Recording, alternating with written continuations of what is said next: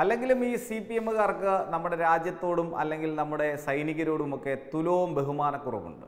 കാരണം അവർ പണ്ട് തൊട്ടേ അങ്ങനെ പറയുന്നതാണ്. കാരണം ഞങ്ങൾ നമ്മളുടെ ജീവിക്കുന്ന രാജ്യം ഇതാണെങ്കിലും മാതൃരാജ്യം ഇപ്പോൾ അവർക്ക് കമ്മ്യൂണിസം മാത്രം എന്താ പറയേണ്ടത് ജീവവായുവാക്കിയിട്ടുള്ള പല രാജ്യങ്ങളുമാണ്. അപ്പോഴാണ് സി പി എമ്മിന്റെ ഒരു മുതിർന്ന നേതാവ് മുഹമ്മദ് സലീം ഇപ്പോൾ വീരമൃത്യു വരിച്ചിട്ടുള്ള ധീര ജവാന്മാരെ അപമാനിച്ചുകൊണ്ട് രംഗത്ത് വന്നിരിക്കുന്നത്. അതിൽ യാതൊരു അസ്വാഭാവികതയും ഞങ്ങളാരും കാണുന്നില്ല. പക്ഷെ ഒരു കാര്യമുണ്ട്.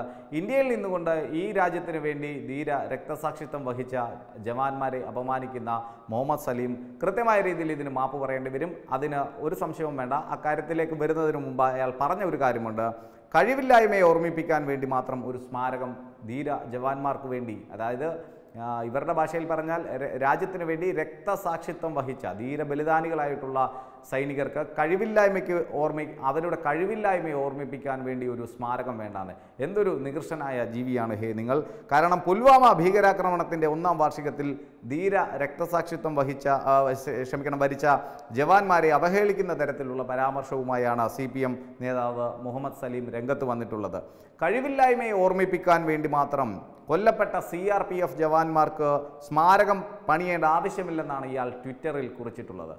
ഈ കഴിവില്ലായ്മയെ ജവാന്മാർ രക്തസാക്ഷിത്വം വഹിച്ച ജവാന്മാർക്ക് കഴിവില്ലായ്മയ്ക്ക് വേണ്ടി മുഹമ്മദ് സലീം സ്മാരകം പണിയുന്നില്ലെങ്കിൽ ആ ജവാന്മാരെ ഒളിഞ്ഞിരുന്ന ആ ജവാന്മാർ പോയിക്കൊണ്ടിരുന്ന ആ വാഹന വ്യൂഹത്തിലേക്ക് സ്ഫോടക വസ്തു ഇടിച്ചു കയറ്റിയ ഭീകരന് വേണ്ടിയാണോ മുഹമ്മദ് സലീമെ നിങ്ങൾ സി പി എം സ്മാരകം പണിയാൻ പോകുന്നതെന്നാണ് ഞങ്ങൾക്ക് ചോദിക്കാനുള്ളത്. നാണമില്ലേടോ തനിക്ക് ഇങ്ങനെ ഈ നാടിനു വേണ്ടി അന്തസ്സായ രീതിയിൽ പൊരുതിക്കൊണ്ടിരിക്കുന്ന ജവാന്മാരെ അധിക്ഷേപിക്കാൻ? അല്ലെങ്കിൽ ഈ നാടിനു വേണ്ടി വീരമൃത്യു വരിച്ച ജവാന്മാരെ ഇത്തരത്തിൽ അധിക്ഷേപിക്കാൻ? താനൊന്നും വെളിയിലിറങ്ങി നടക്കുന്ന സമയത്ത് തന്നെ വല്ലവരും ചെരിപ്പൂരി അടിക്കാതെ നോക്കേണ്ടത് താൻ തൻ തന്റെ സഹാക്കന്മാരോട് പറയേണ്ടത് അത്യാവശ്യമാണ്. കാരണം തനിക്കൊരു സംരക്ഷണ കവചം ചിലപ്പോൾ അവർ ഒരുക്കി തരേണ്ടി വന്നിരിക്കും. കാരണം ഇപ്പോൾ കൊൽക്കത്തയിലൊക്കെ താൻ ഇറങ്ങി നടന്നാൽ എന്തായിരിക്കും സ്ഥിതി എന്ന് കൂടി തനിക്കറിയാവുന്നതാണല്ലോ. നമ്മുടെ കഴിവില്ലായ്മയെക്കുറിച്ച് ഓർമ്മപ്പെടുത്താൻ നമുക്കൊരു സ്മാരകം ആവശ്യമില്ല. ആർക്കാണ് കഴിവില്ലായ്മ എന്ന് മുഹമ്മദ് സലീം പറയണം. എൺപത് കിലോഗ്രാം ആർ ഡി എക്സ് രാജ്യാന്തര അതിർത്തികൾ കടന്ന ഏറ്റവും സൈനികവൽക്കരിക്കപ്പെട്ട മേഖലയിലേക്ക് എങ്ങനെയാണ് എത്തിച്ചേർന്നതെന്നും പുൽവാമയിൽ പൊട്ടിത്തെറിച്ചതെന്നും ഞങ്ങൾക്കറിയണമെന്നാണ് മുഹമ്മദ് സലീം ട്വിറ്ററിൽ എഴുതിയിരിക്കുന്നത്. ആർ ഡി എക്സ് വരുന്ന വഴി അല്ലെങ്കിൽ ആർ ഡി എക്സ് എങ്ങനെ കശ്മീരിൽ പുൽവാമയിൽ പൊട്ടിത്തെറിച്ചു എന്നത് തങ്ങൾക്കറിയണം. എന്നാൽ ഒരു കാര്യം ചെയ്യും പാർട്ടി ഒരു കൺട്രോൾ കമ്മീഷനെ വെച്ചിട്ട് അതിനെപ്പറ്റി കൃത്യമായ രീതിയിൽ ഒരു അന്വേഷണം നടത്തേണ്ടത് അത്യാവശ്യമാണ്. അതേസമയം പുൽവാമ ഭീകരാക്രമണത്തിൽ ധീര രക്തസാക്ഷിത്വം വഹിച്ച ക്ഷമിക്കണം ഭരിച്ച ജവാന്മാർക്ക് പ്രധാനമന്ത്രി പ്രണാമം അർപ്പിച്ചിരിക്കുന്നു.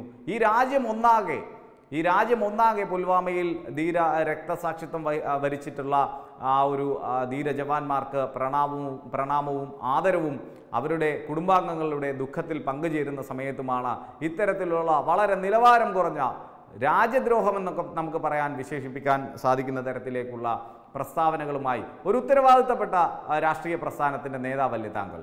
കമ്മ്യൂണിസ്റ്റ് പാർട്ടി ഓഫ് ഇന്ത്യ മാർക്സിസ്റ്റിന്റെ ഒരു ദേശീയ തലത്തിൽ പ്രവർത്തിക്കുന്ന ഒരു നേതാവാണ്. താങ്കളെ പോലെയുള്ള ഒരു വ്യക്തിയുടെ ഒരു ഒരു ചിന്താധാര ഇത്തരത്തിൽ പോയാൽ എന്തായിരിക്കും നാളെ ഈ രാജ്യത്തിന്റെ അവസ്ഥ? അല്ലെങ്കിൽ താങ്കൾ പ്രതിദാനം ചെയ്യുന്ന രാഷ്ട്രീയ പാർട്ടിയുടെ അവസ്ഥ ഒരു അഭിപ്രായം ഇത് തന്നെയാണോ എന്ന് അറിയാൻ ഒരു കൗതുകമുണ്ട്. പക്ഷെ ഒരു പക്ഷേ അങ്ങനെ ആയിരിക്കില്ല. പക്ഷേ മുഹമ്മദ് സലീം ഒരു കാര്യം മനസ്സിലാക്കണം. താങ്കൾ ഉൾപ്പെടെയുള്ള ആളുകൾ അവിടെ കിടന്ന് വലിയ വിപ്ലവം കാണിച്ചിട്ടും കൊൽക്കത്തയിൽ ഇപ്പോഴും സി പി എമ്മിന്റെ അവസ്ഥ നമുക്കറിയാവുന്നതാണ്. പതിറ്റാണ്ടുകൾ ഭരിച്ചിട്ടും ഇപ്പോൾ അവിടെ ഇറങ്ങി നടക്കാൻ പല ഗ്രാമങ്ങളിലും സി പി എമ്മിന്റെ പാർട്ടി പ്രവർത്തകർക്ക് കഴിയുന്നില്ല. അതാദ്യം ശരിയാക്കുക എന്നിട്ടാട്ട് രാജ്യത്തിന് വേണ്ടി ധീര രക്തസാക്ഷിത്വം വരിച്ച ധീര ജവാന്മാരെ അപമാനിക്കുന്നത്. കഴിവില്ലായ്മയെ പറ്റി ഓർത്തെടുക്കാൻ ഒരു സ്മാരകം വേണ്ട എന്ന് പറയാൻ മുഹമ്മദ് സലീം എന്ന സി പി എം നേതാവിന് എന്തവകാശമാണുള്ളത്? താങ്കളുടെ ചോറ് ഇവിടെയും കൂറ എവിടെയുമാണെന്ന് താങ്കളാണ് വ്യക്തമാക്കേണ്ടത്. അതായത് ആർ ഡി എക്സ് വന്ന വഴി അദ്ദേഹത്തിന് അറിയണം അതെങ്ങനെ കശ്മീരിലെത്തിയതെന്ന് അറിയണം അതെങ്ങനെ പൊട്ടിത്തെറിച്ചു എന്ന് അദ്ദേഹത്തിന് അറിയണം. ഞാൻ നേരത്തെ സൂചിപ്പിച്ചതുപോലെ ഒരു കൺട്രോൾ കമ്മീഷനെ അന്വേഷണത്തിനായി വെക്കുന്നതായിരിക്കും ഉചിതമെന്നാണ് നമുക്ക് പറയാൻ ഉള്ളത്. ഈ ഒരു സ്ഥിരം ഒരു നമ്പർ തന്നെ കഴിഞ്ഞ ദിവസം നമ്മുടെ അമൂൽ ബേബി ആയിട്ടുള്ള രാഹുൽ ഗാന്ധിയും പറഞ്ഞിരുന്നു. അദ്ദേഹവും പറഞ്ഞത് ഇതെങ്ങനെയൊക്കെയാണ് പൊട്ടിത്തെറിച്ചതെന്ന് ഞങ്ങൾക്കറിയാമെന്നാണ് പറഞ്ഞത്. അപ്പോൾ അങ്ങനെ അറിയാവുന്ന ചില ആളുകളാണെങ്കിൽ സ്വാഭാവികമായും അവർക്ക് ഇതിനെപ്പറ്റി എന്തെങ്കിലും അറിവുണ്ടായിരിക്കും. ദേശീയ അന്വേഷണ ഏജൻസികൾ ഇതിനെപ്പറ്റി പിടിച്ച് രണ്ട് ഒലത്തൊക്കെ ഒലത്തുമ്പോൾ സ്വാഭാവികമായും അതിനെപ്പറ്റിയുള്ള സത്യാവസ്ഥ പറയാമോ? രാഹുൽ ഗാന്ധി എന്നാണ് നമുക്ക് പറയാൻ പറ്റുന്നത്. ഏതായാലും അദ്ദേഹത്തിന്റെ ആ തള്ളപ്പ് ഇന്നലെ കൊണ്ട് അതിന് ശേഷം കഴിഞ്ഞിരുന്നു. പക്ഷേ ഇപ്പോൾ അതിന് പുതിയ ഒരു നമ്പറുമായി സി പി എമ്മിന്റെ നേതാവ് മുഹമ്മദ് സലീം രംഗത്ത് വന്നിരിക്കുകയാണ്. സ്വാഭാവികമായും ഇത് സി പി എമ്മിന്റെ കൂടി അഭിപ്രായമാണോ? ഒരിക്കലും അതാകാൻ തരമില്ല. പക്ഷേ സി പി എമ്മിന്റെ കൂടി അഭിപ്രായമാണോ എന്ന് അറിയാൻ ആഗ്രഹമുണ്ട് ട്രംപ് വരുമ്പോൾ ട്രംപിനെ തടയാൻ നിൽക്കുന്ന party general secretary Shri Sitaram Yechury ആ പ്രവർത്തകരെ അഭിസംബോധന ചെയ്യുമ്പോൾ ഈ ഒരു കാര്യം കൂടി പറഞ്ഞാൽ വളരെ ഉപകാരമായിരിക്കുമെന്നാണ് ഞങ്ങൾക്ക് ഈ ഒരു വിഷയത്തിൽ പറഞ്ഞു വെക്കാനുള്ളത്. പക്ഷേ ഒരു കാര്യം കൂടി പറയാം മുഹമ്മദ് സലീം. താങ്കൾക്ക് ചോറ് എവിടെയും കൂറ് എവിടെയുമാണെന്ന് താങ്കൾ തന്നെയാണ് ഒന്ന് വ്യക്തമാക്കേണ്ടത്. ഒരു പക്ഷേ ഒന്നുകൂടി ഒന്ന് ട്വീറ്റ് ചെയ്താൽ ഈ നാട്ടിലെ ജനങ്ങൾക്ക് അതിനെപ്പറ്റി ഒരു വ്യക്തത ലഭിക്കുമെന്നാണ് ഒരിക്കൽ കൂടി ഞങ്ങളും പ്രതീക്ഷിക്കുന്നത്.